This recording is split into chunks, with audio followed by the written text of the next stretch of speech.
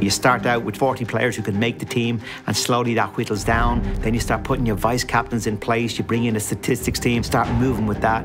Then you don't want to give too much away in the media. You want to hold a few things close to your chest. I love the strategy, the cat and mouse, the chess playing of it, looking at the golf course, going to look at the team rooms, how we were going to do the environment inside, because all of those things are important because what you're trying to do as a captain, more than anything, was create a platform, an environment that the players are going to be happy, they're going to be comfortable, and their heart's going to be on fire.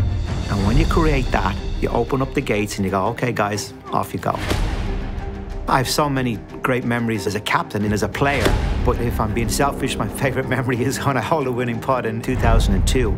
I likened it at a time to having a bottle of champagne and shaking it and shaking it and shaking it, and that's how I felt inside. And then as the putt went in, the cork came off and just exploded in this incredible emotion.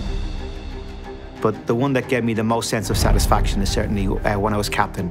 Creating a plan, organising the players, organising the statistics, organising everything behind the scenes, having a vision, putting it into place. I had an incredible source of knowledge that I had experienced and rode shotgun on from all the captains that I played under you know, Seve, I played under Faldo, I played under Olazabal, you know, who's who, Woosnam, Langer, wherever you want to go. I'd either played with or played under those guys in a team room. And I learned a bit from all of them. Not always the same thing, but I learned a bit from all of them. Oh, I like that, I like we did that, don't particularly like that, I like this.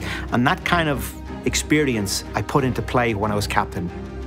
So I loved it. I really enjoyed the role. I loved the challenges of it. You know, in the pressure and the cauldron of Ryder Cups, trying to make decisions late at night after a long day of 36 holes and trying to draw it up what you're going to do the next day, that's a difficult place to be. But I remember Tom Watson had a quote. One of the lines that he had was, the best way to deal with pressure is not let it build in the first place. Now that sounds very simple, but I took that certainly in terms of the captaincy, as having a plan. And I had statistics to help me with decisions, my personal relationships with the players, my understanding of the players. I played with them all, I understood their games, and then to see it kind of rolled out and to see it coming to fruition in a successful way is a real sense of achievement and probably the proudest thing that's happened to me. So the better decision is to come in with a clear plan. If you can do that, things get off rolling, you just roll out the red carpet and off you go.